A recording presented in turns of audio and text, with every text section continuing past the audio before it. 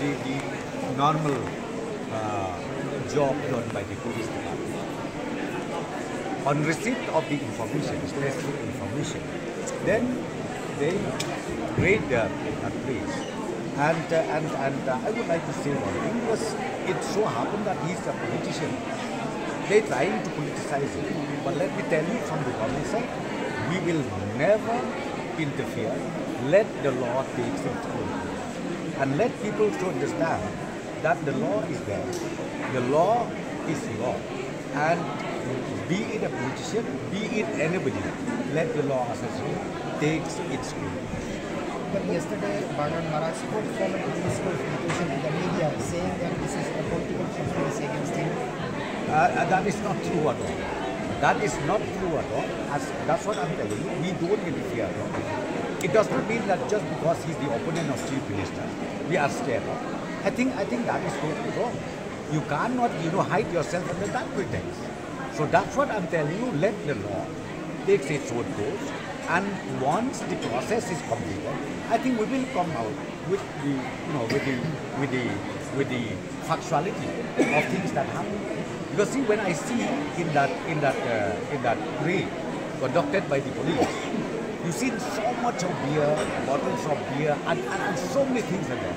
So how can you say, how can you say that everything is fine? That's what I'm telling you. Right now, we have we left it to the wisdom of the police. Let the police handle this issue, irrespective of be it BJP or NPP or anybody else. But the law is law, and let the law take its own. But Bernard has said that there is a conspiracy to eliminate him, gun him down. I think I think that is not true at all. If you know that, why not do FIR? How can you just say that? And that also you said when the raid has taken place.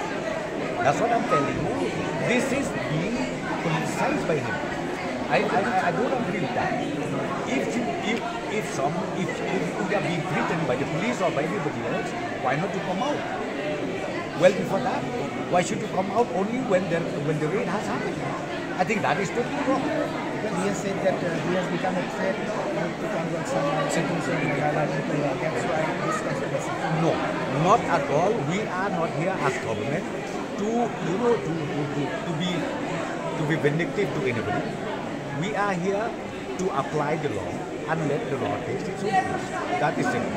Where is Bernard now? in the police arresting him? No, I don't know right now because as I said, to you, we already entrusted to the police department. Let the police take take, uh, take their own uh, uh, their own duty. So Why it is so take took so long? Uh, to investigate this case We have already authorized the police to do the needful, and it should be done according to the law.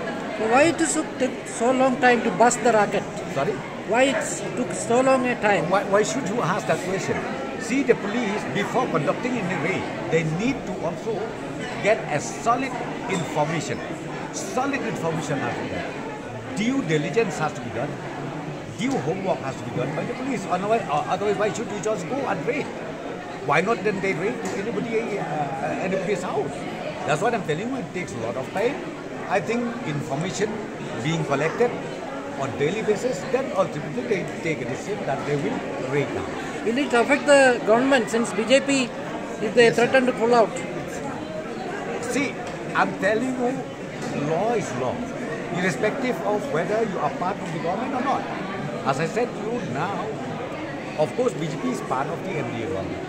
But what are we going to do in case if these unpleasant things happen? Should we just keep quiet?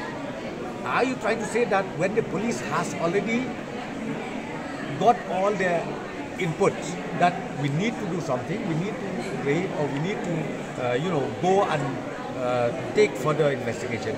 I don't say that we, being the government, we should stop that. No, we will not. That's what I'm telling you, irrespective of any party. But let the law take its own. Well, if pressure builds from the higher uh, command of the BJP in this case, even if pressure or no pressure, I'm telling you, let the law take its own course. Even the, the, the BJP leadership in the highest level, in the high command, I think we have seen it. This is not a new thing. We have seen it, be it in the minister's uh, house, be it in uh, anybody's house, be it BJP, be it Congress, be it anybody. And I, I- think, you know, the agency, the enforcing agency needs to take steps to make sure that this kind of thing should not be. Will there be an independent inquiry into the matter? Yes, yeah. Will there be an independent inquiry since there are claims and counterclaims about the incident? Uh, well, it is it is too early to say anything. In case if they are not happy, yes, we can do that also. We can we, we, we can immediately set up uh, independent inquiry. But right now, this issue is still under the investigation of the police. So let the police complete their duties, and then we will see what next steps. to be.